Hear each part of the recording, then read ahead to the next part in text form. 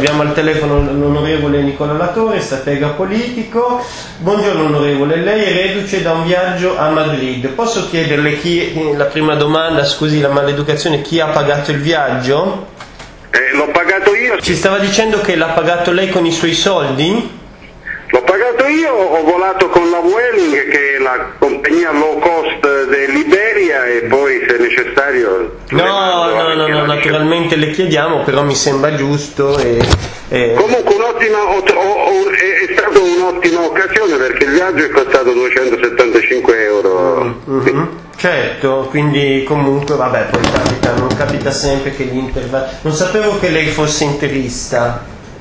Eh, sono, sono, interista eh, per ragioni anche familiari, pensi che mio papà è il presidente dell'Interclub del mio paese. Certo, quindi una cosa di provata fede, insomma. E, senta, e a proposito di compensi miliardari, un'icona della sinistra eh, RAI e oggi leggiamo sui giornali, questa mattina leggiamo su, sui giornali, insomma, riportato che eh, forse ci ripensa, che forse parliamo ovviamente di Michele Santoro e, e, e che forse rimanere, insomma, la, la, situazione non è molto chiara. Personalmente la mia sensazione è che Masi eh, voglia chiudere questa cosa, però mh, la domanda che voglio farle è un'altra. Eh, voi eh, diciamo in RAI siete rappresentati da un tipo di comunicazione che poi con lei, con D'Alema, con Bersani hanno molto poco a che fare, perché io ho la sensazione che mentre voi siate comunque un filone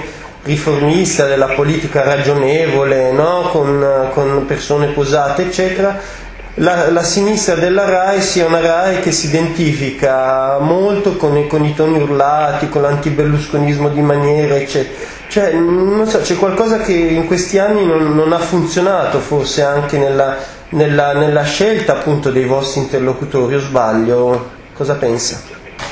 Allora, innanzitutto, quanto a Michele Santoro, io non condivido gran parte delle sue opinioni politiche eh, non condivido molti dei giudizi, per esempio l'ultimo che ha dato sul Partito Democratico, che sarebbe un partito di cialtroni, mm. però considero Michele Santoro un grande professionista e ritengo che la RAI farebbe bene a tenerselo un caro. Un professionista che in nessuna televisione del mondo lavorerebbe, scusi, eh? Cioè, nessuno, detto questo, eh, detto, secondo detto lei questo. David Letterman va in onda con, con, quello che ha fatto lui l'altra sera? Non esiste, cioè, guardi che non... No, io, eh, quello, che ha, quello, che ha, detto lui l'altra sera io per fortuna mia non, non l'ho sentito, non l'ho visto. Sì, però Ma secondo lei... Questo... No, no, no, no, un momento. In un altro paese europeo, dove, eh, in Inghilterra, con la Merkel le social democrazie europee, scusi, non hanno prodotto Santoro, hanno prodotto ben altro tipo di giornalismo, molto, anche di sinistra, ma molto, molto super partes.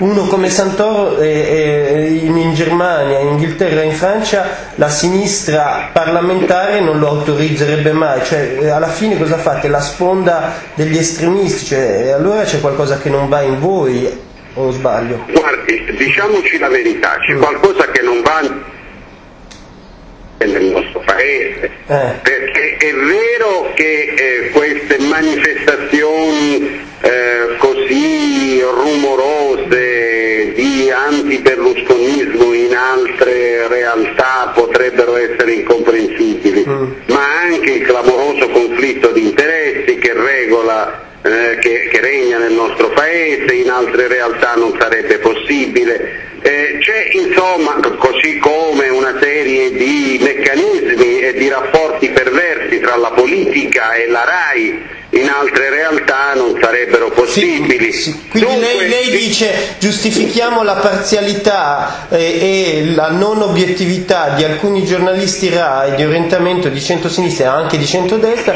col fatto che c'è il conflitto di interessi. No, no, Scusi, io allora, no, allora no, la nostra no, no, no, no, no, eh, non dico questo, non dico questo, io ho detto un'altra cosa, non mi faccia dire quello che non ho detto. No, io, penso, io penso complessivamente anomalo eh, il sistema eh, della comunicazione paese perché da un lato c'è un clamoroso conflitto di interessi.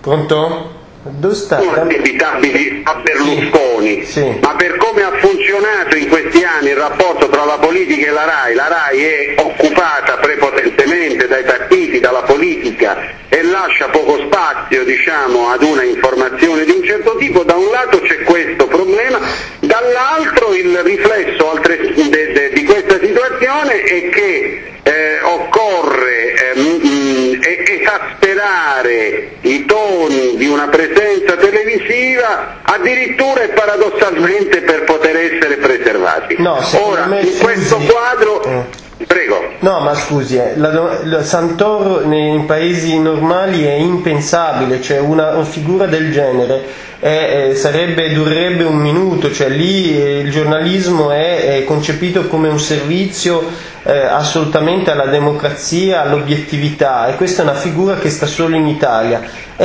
è una figura anomala italiana, cioè lo giustifichiamo perché c'è Berlusconi o il giornalismo eh, eh dovrebbe seguire altri criteri secondo lei? Ma lei che è un grande maestro eh. della comunicazione può spiegare che eh, ogni eh, manifestazione, ogni espressione non può essere mai eh, avulsa dal, dal, da come funziona un sistema. Mm. Non esiste un, una eh, manifestazione un, un, o un tipo di giornalismo che possa essere dire, valutato in maniera asettica rispetto a quello che è il sistema. Diciamo la verità, c'è qualcosa che non funziona, anzi c'è molto che non funziona nel sistema della comunicazione mm. e in questo quadro accade che eh, organi di informazione che dovrebbero essere eh, telegiornali che informano dando un, un, quadro complessivo della pluralità delle opinioni, che cercano di informare più puntualmente sui fatti, che cercano anche di rispettare una certa gerarchia delle notizie, non lo fanno e accade anche che eh, c'è spazio per alcune manifestazioni di radicalismo estremo che diciamo la verità nel passato sono state molto funzionali, Berlusconi deve ringraziare anche di queste manifestazioni di tipo anti-berlusconiano che gli hanno consentito di fare la vittima e di fare apparire il sistema della comunicazione nel nostro Paese come un sistema pluralista quando questo in realtà non è così.